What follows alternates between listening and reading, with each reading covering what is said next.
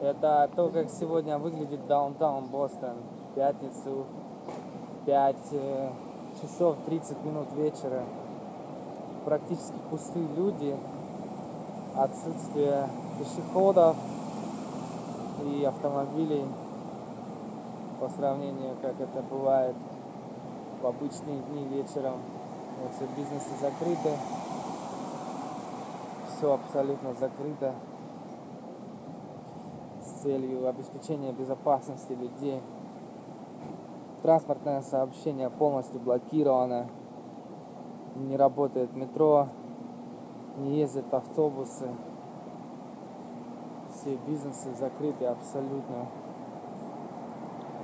И так выглядит самое сердце города. Это улица Вашингтон. Самое начало улицы Вашингтон. Все закрыто. Вот Starbucks тоже закрыт. Dunkin' Donuts закрыт. Так что вот такие дела.